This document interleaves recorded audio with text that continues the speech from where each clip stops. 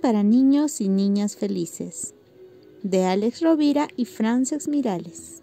24. Los 10 dromedarios. No des nada, por supuesto. Esta historia procede de una región del desierto y siempre se ha transmitido de padres a hijos. La sabían bisabuelos y abuelos y todas las generaciones la comparten para que su mensaje no se pierda. Cuentan que cada año pasaba un riquísimo sultán con su comitiva por un pequeño oasis en la caravana viajaban sus guardianes, los sirvientes de palacio y los animales que había adquirido en los mercados. Todo tipo de aves, cabras o conejos. También estaban, por supuesto, los dromerarios, que los transportaban en su ruta. Los diez dromerarios eran el tesoro más preciado para el sultán, ya que eran fuertes, resistentes y tenían buen carácter. Por eso exigía a sus sirvientes que los cuidaran con gran mimo. Por las noches, para que los dromedarios no pudieran escapar, los guardianes ordenaban a un sirviente que fijara estacas en el suelo y los amarrara. Una noche, el encargado de hacerlo había clavado la novena estaca, cuando un fuego en la cocina del campamento lo alertó.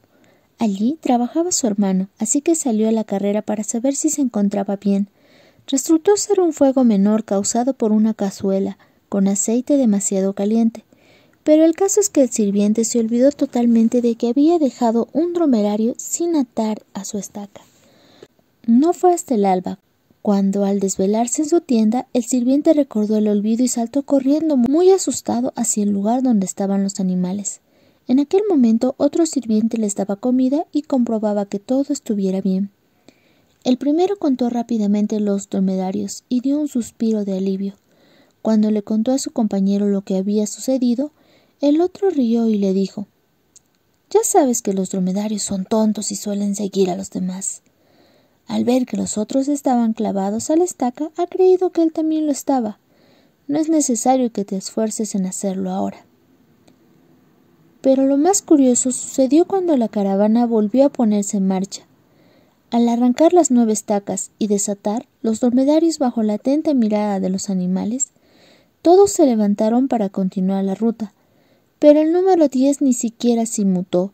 Seguía tumbado en la arena, mirando con preocupación cómo los otros se marchaban. ¿Qué sucede? preguntó el sirviente a su amigo. Bueno, igual que creía que estaba clavado como los demás, como no te has acercado a él para liberarle, piensa que sigue atado. El sirviente emuló entonces el gesto de extraer la estaca y el dromerario se incorporó y fue a reunirse con los demás.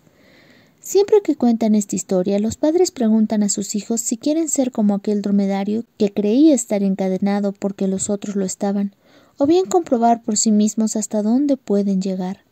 Todos los niños contestan que no quieren ser como los dromedarios. En tal caso, nunca dejéis de mirar, escuchar y probar. Les dice quien les cuenta esta historia. Solo sabréis por vosotros mismos a dónde os lleva vuestra libertad. Para pensar y crecer. Al igual que el dromedario está convencido equivocadamente de que está atado a una estaca, a menudo nos sentimos atados o encadenados, sin que en realidad haya una cuerda o una cadena que nos inmovilice. Se trata de ataduras que solo están en nuestra mente o en la mente de otras personas que nos influyen y que nos hacen creer algo que en realidad no es así. Prueba de ello es lo que sucedió con la carrera de 100 metros lisos. Hasta que el primer corredor no logró bajar de los 10 segundos, cosa que consiguió el estadounidense Jim Hines en 1968, todo el mundo creía que era imposible superar la mítica barrera de los 10 segundos. Esa creencia era la estaca que tenía clavado a, a, todos los atletas, y en cuanto hubo uno que lo consiguió marcando un tiempo de 9.95 segundos, otros corredores lograron superar la barrera. Había caído la estaca invisible.